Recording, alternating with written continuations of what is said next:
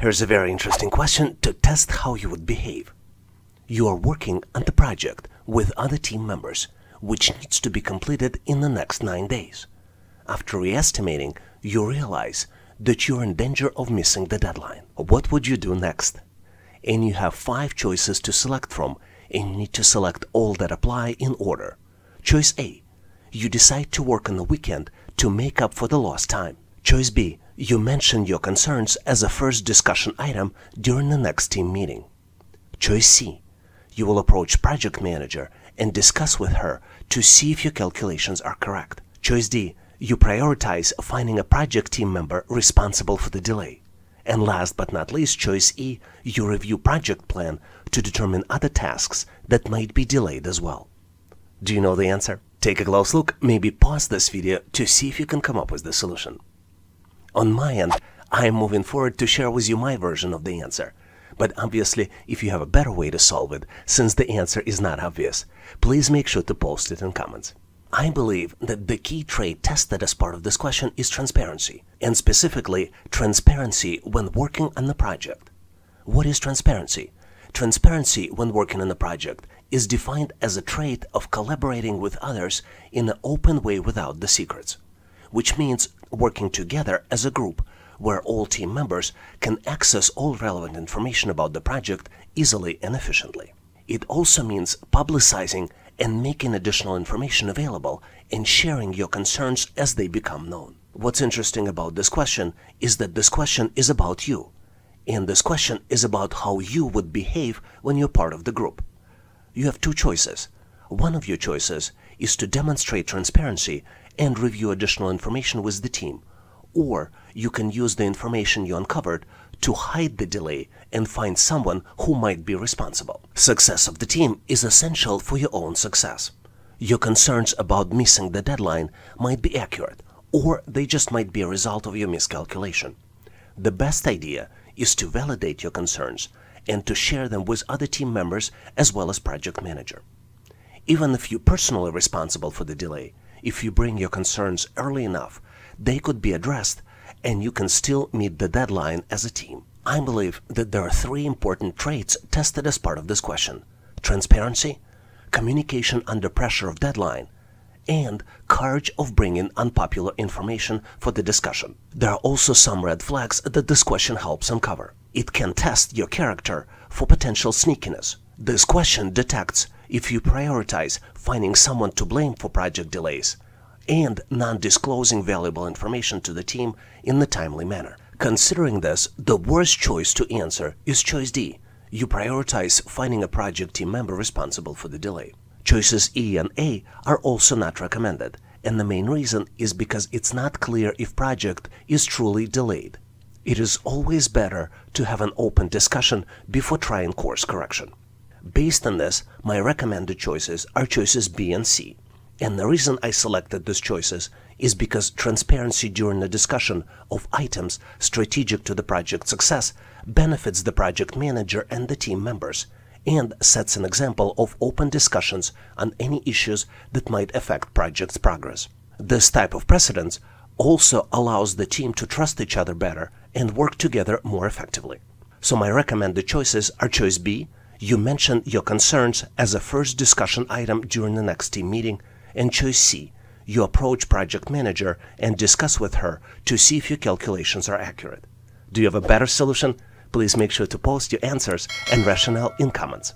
Here's a very interesting question to test your customer service skills. You work as a retail associate at the New Wave store, which is part of a large global chain. Customer browsed the selection of clothing items and looks very frustrated and dissatisfied.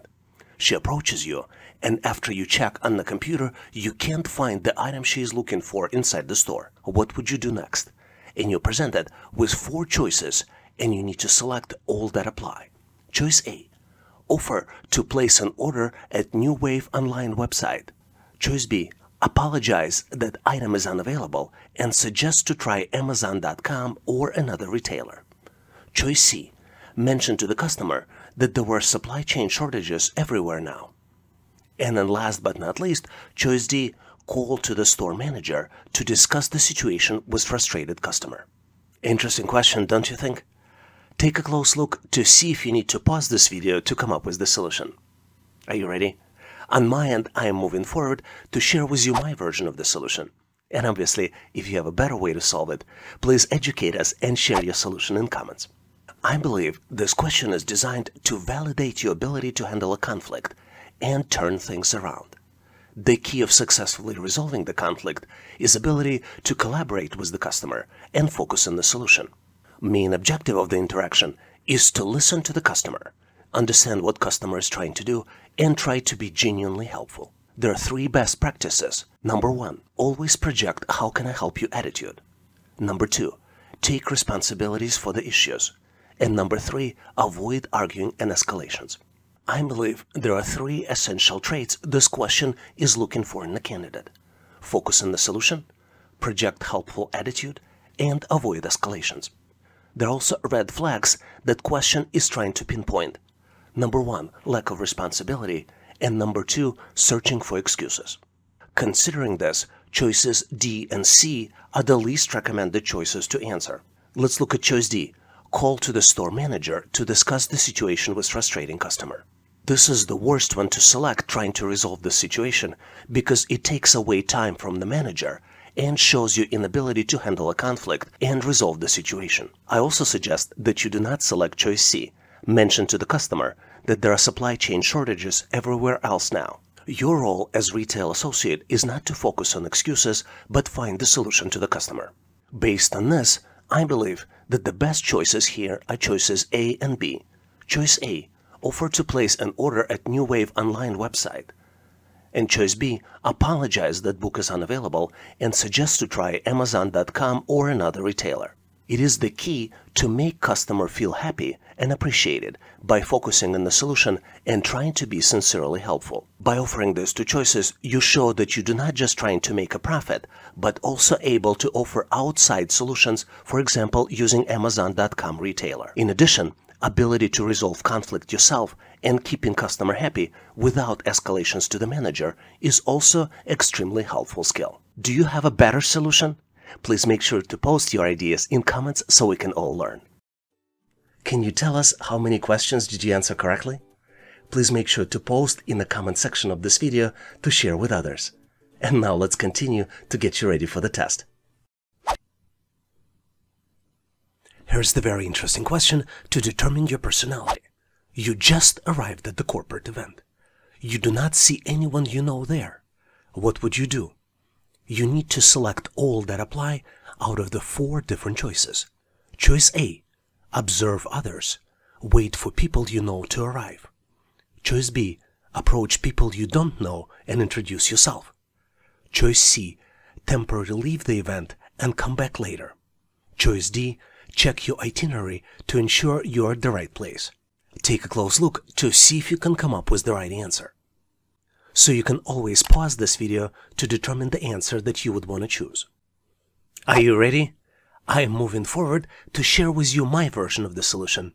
And obviously, if you have a better way to answer and have different recommendations, feel free to share in comments. I believe that in this question, you are being tested on whether you're a good team player. Work environments are very collaborative and companies are looking to hire people that work well with others. There are no easy ways to determine if a candidate is a good team player.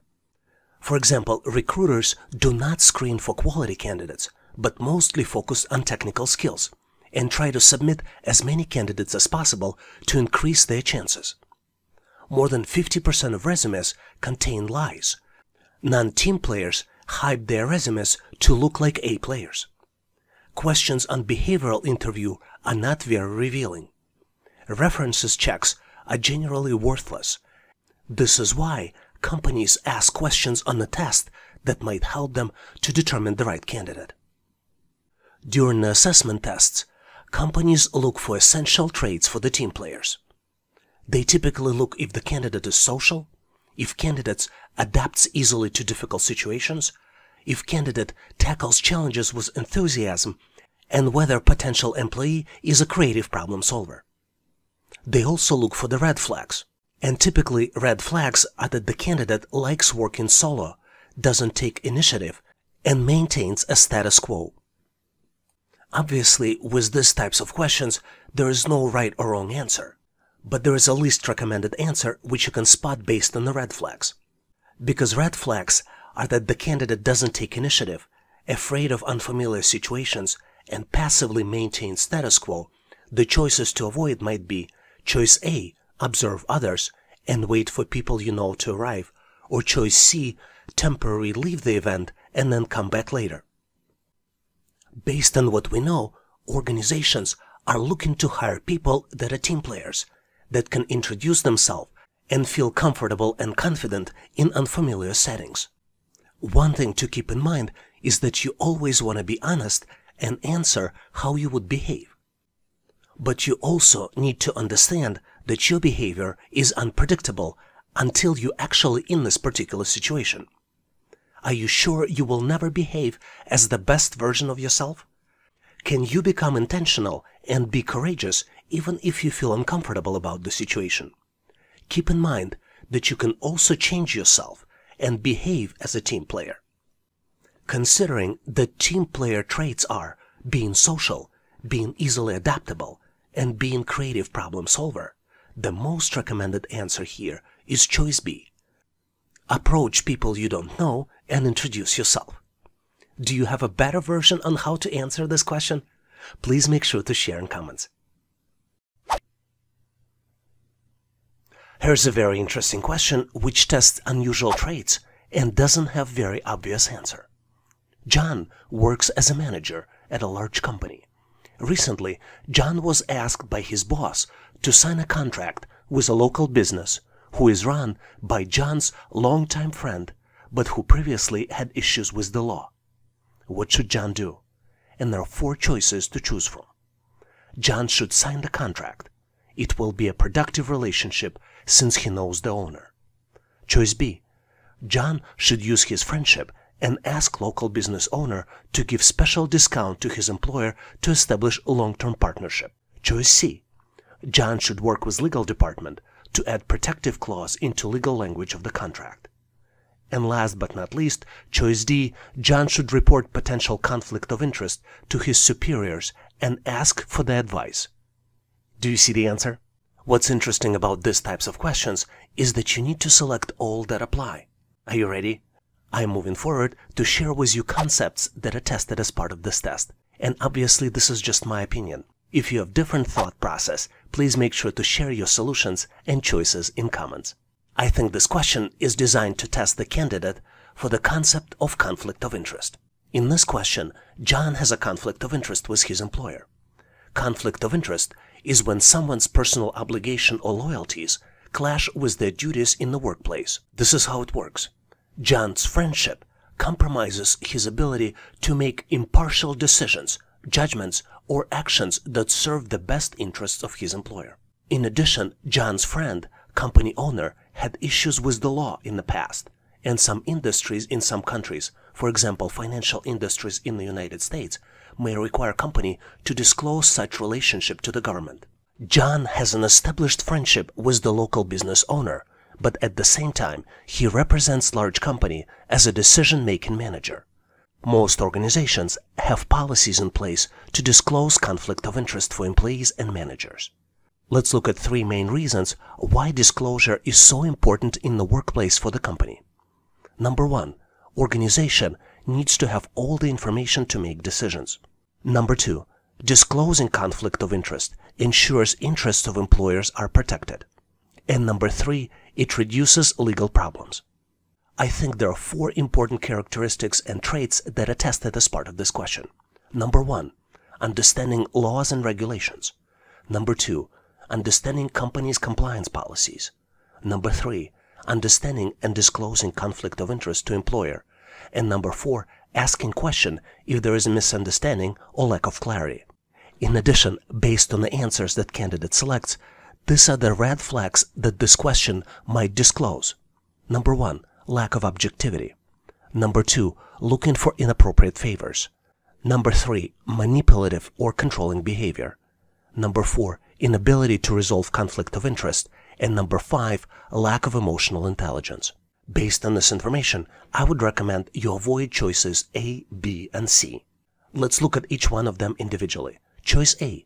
John should sign the contract. It will be productive relationship since he knows the owner. The fact that it might be productive relationship is true, but this does not provide employer with all the information needed to make a decision. And there might be challenges in the future in this relationship. Another choice to avoid is choice B. John should use his friendship and ask local business owner to give him special discount to his employer to establish a long-term partnership. Even though this choice seems like a favor to the company, this shows manipulative behavior and hiding some information. Let's look at why should we avoid choice C.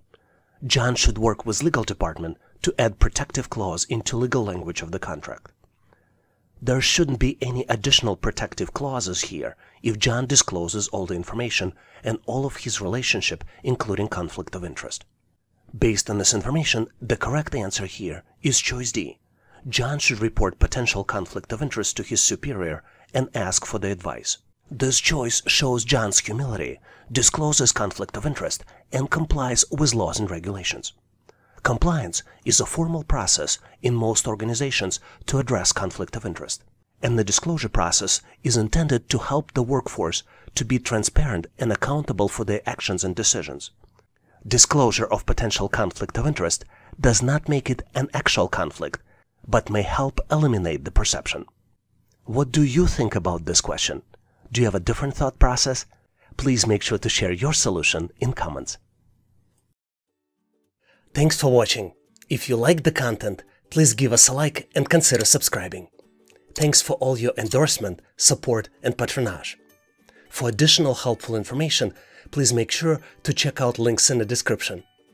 For detailed list of available resources, I encourage you to check out resources page on our website, howtoanalyzedata.net slash resources. If you know someone who would benefit from this content, please consider sharing the link. Please leave the feedback, corrections, or suggestions in comments. And all the best on your journey. I'll see you in my next video.